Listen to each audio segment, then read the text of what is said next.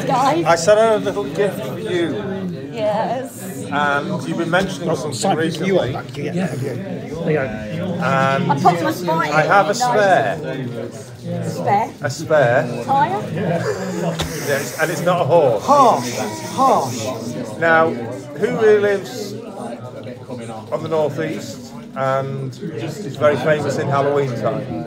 Jake. No, well, close. Oh, oh, oh, yes, yes. I'm putting on my spot. Come on, come on, come on, think, think about it.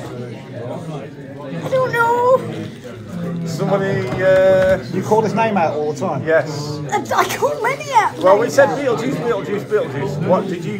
What were you saying? Oh, Mr. Grimm, Mr. Grimm, Mr. Grimm. Your very own Mr. Grimm. There you go. Show it to the viewers. Oh, I love that.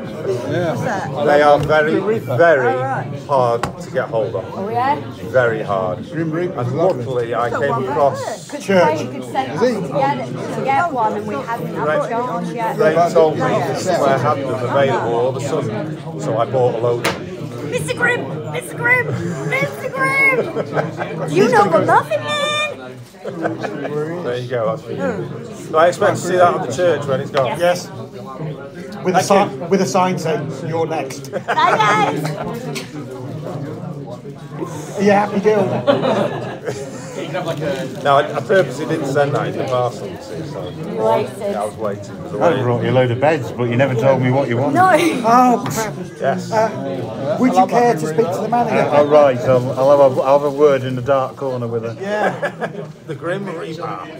This is coming in handy Been waiting today for a your lot. Thank you.